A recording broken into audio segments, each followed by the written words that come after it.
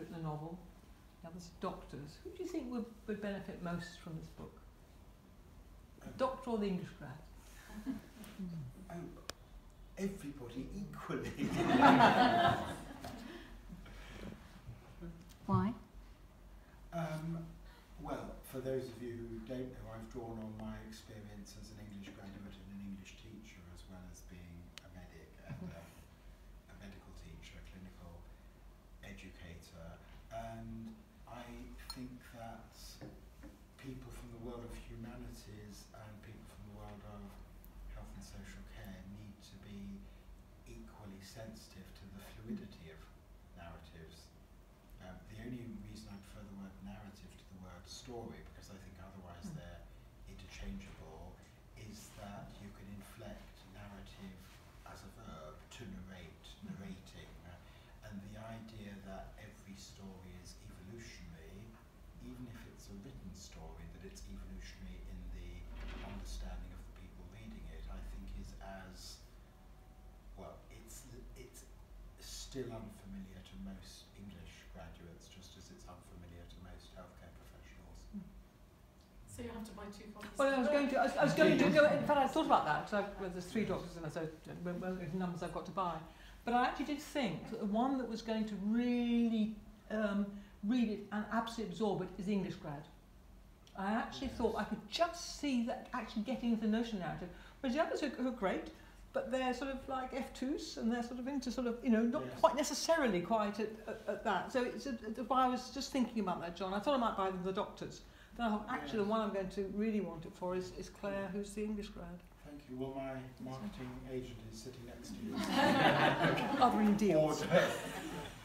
deal. So- Questions? How have you, you, you know, you told me that you'd adapted it so it was useful across the spectrum of healthcare, including secondary care. How has it been received, or how have you, what, what, how have you made it useful Um, them? I've included vignettes from a far wider range of professional contexts and including a far wider range of professionals. So the previous vignettes were all f- about GPs, health visitors, practice nurses, etc. Here we have vignettes concerning surgeons, probation officers, care home managers, etc. So I've tried to reflect in that way and I've tried to have vignettes that reflected the reality of their professional lives as I understood them. The feedback I've had from people within social care has been very good. I await feedback from people in secondary Andrew, once you've read your copy, I'd, love, I'd love to hear how relevant it is to cardiologists, but it, Yeah. I, it's awaiting that audience really. It was written to appeal to them, just as our courses have been addressed to secondary care uh, people, but, but we haven't had any readers yet. That we know of. Well, we have another potential reader. I beg your pardon. yes, uh, urgent, we have an urgent care consultant on them as well. Hmm. Maybe one last question?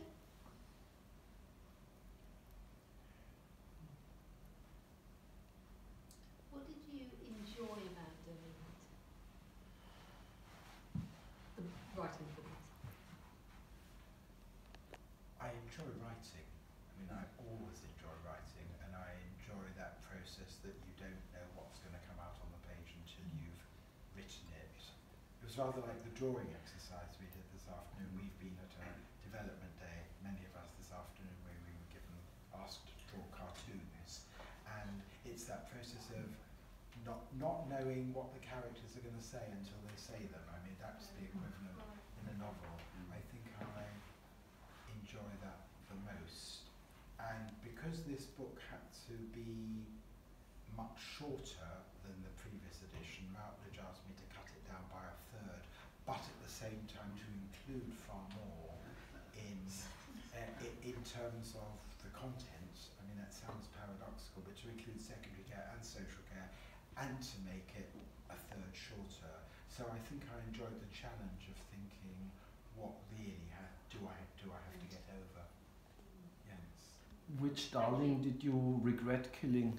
Which Which when you when you have to cut down, it says you have to kill your darlings. Which darling do you regret having killed? What was the method? Uh,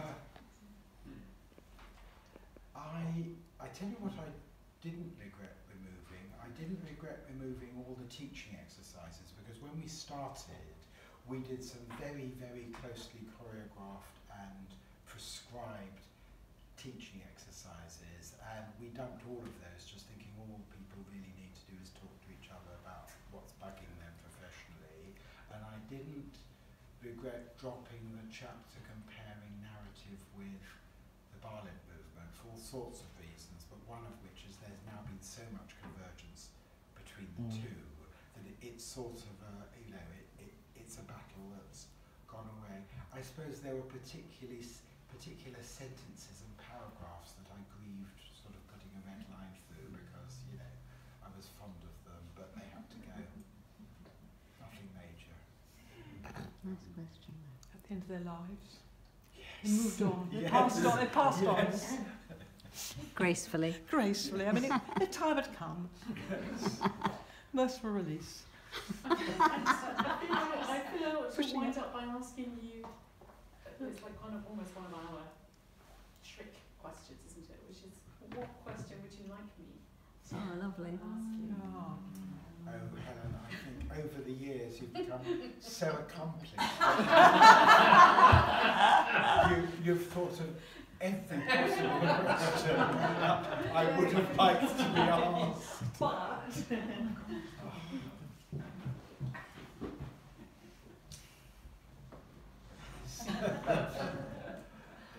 Go for it. Um,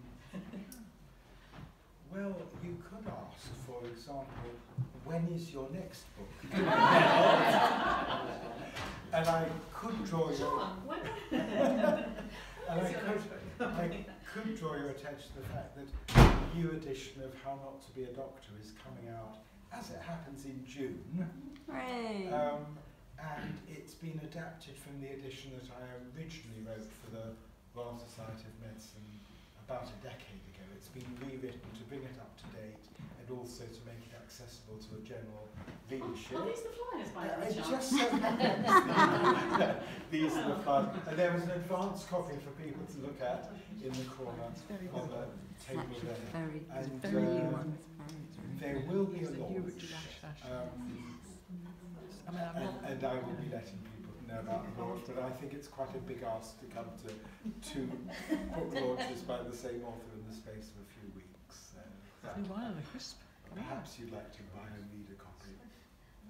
It's fabulous. It is fabulous. Thank I, Actually, I, I, I, think you are the new Richard Asher in terms of essays. Right, thank you. Well, both Fiona and Deborah have written wonderful endorsements for the book. Yeah. Possibly other people in the room as well, just as Rick and others wrote wonderful endorsements for this book. So mm. I hope you enjoy reading it.